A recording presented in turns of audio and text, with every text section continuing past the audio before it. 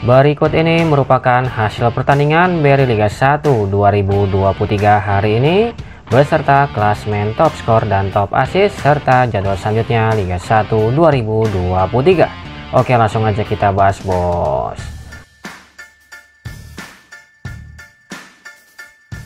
Berikut hasil BRI Liga 1 Indonesia 2024 hari ini, Kamis tanggal 28 Maret 2024.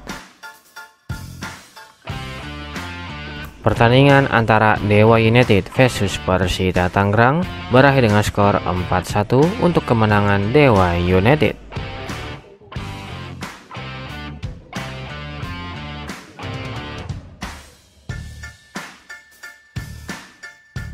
Pertandingan antara Arema FC versus Persebaya Surabaya berakhir dengan skor 0-1 untuk kemenangan Persebaya Surabaya.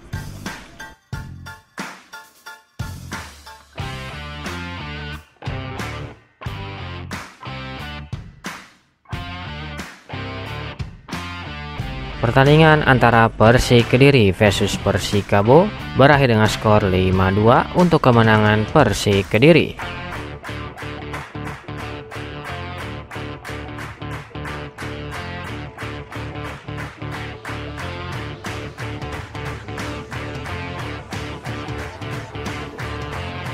Pertandingan antara Persib Bandung versus Bayangkara FC harus puas bermain imbang dengan skor akhir 0-0.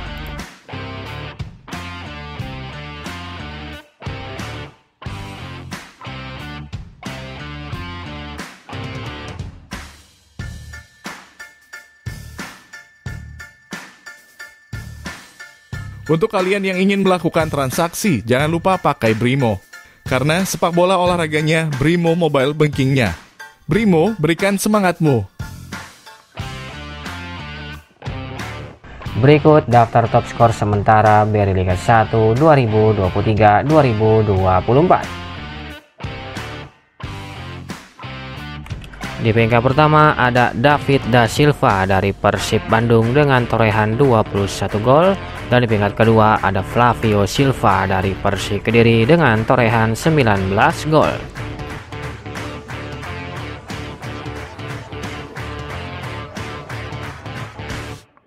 Berikut daftar top asis sementara Beri Liga 1 2023-2024. Di bengkel pertama ada Stefano Lillipali dari Borneo FC dengan torehan 17 assist dan di peringkat kedua ada Alexis Mesidoro dari Persis Solo dengan torehan 11 assist.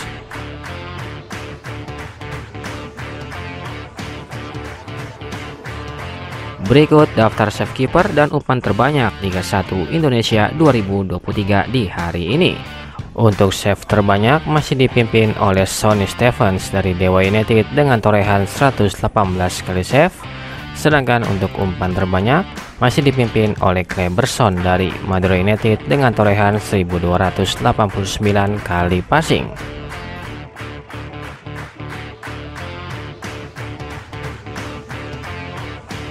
Berikut daftar klasemen sementara Beri Liga 1 2023-2024.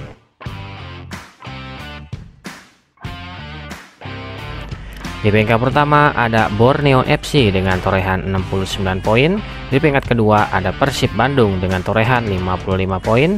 Di peringkat ketiga ada Bali United dengan torehan 49 poin. Di peringkat keempat ada Persik Kediri dengan torehan 46 poin. Di peringkat kelima ada PSIS Semarang dengan torehan 46 poin. Selanjutnya ada Madura United dengan torehan 46 poin. Dewa United dengan torehan 44 poin, Persis Solo dengan torehan 41 poin, dan ada Barito Putra dengan torehan 40 poin.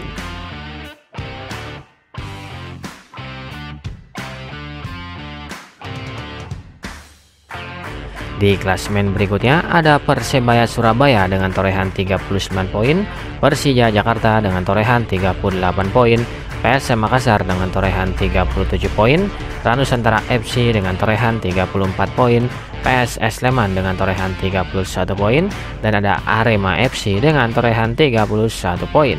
Sedangkan untuk peringkat dasar klasmen ada Persita Tangerang dengan torehan 31 poin, Bayangkara FC dengan torehan 20 poin dan ada Persikabo dengan torehan 17 poin.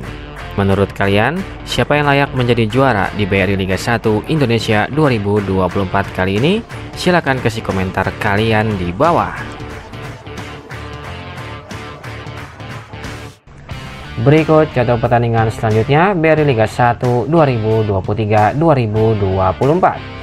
Selanjutnya pada hari Jumat tanggal 29 Maret 2024 akan ada pertandingan antara Barito Putra versus PSIS Semarang yang akan digelar di Stadion Sultan Agung Bantul pada jam 20.30 waktu Indonesia Barat live di Vietcom.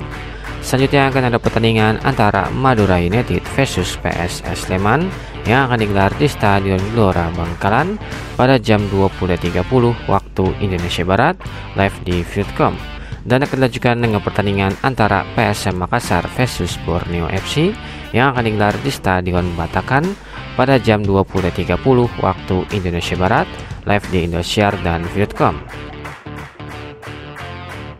Selanjutnya pada hari Sabtu tanggal 30 Maret 2024 akan ada pertandingan antara Persis Solo versus Ranusantara FC yang akan digelar di Stadion Manahan Solo pada jam 20.30 waktu Indonesia Barat live di Vietcom dan akan dilanjutkan dengan pertandingan antara Bali United versus Persija Jakarta yang akan digelar di Stadion Kapten Iwayan Dipta Gianyar Bali pada jam 20.30 waktu Indonesia Barat live di Indosiar dan Vietcom.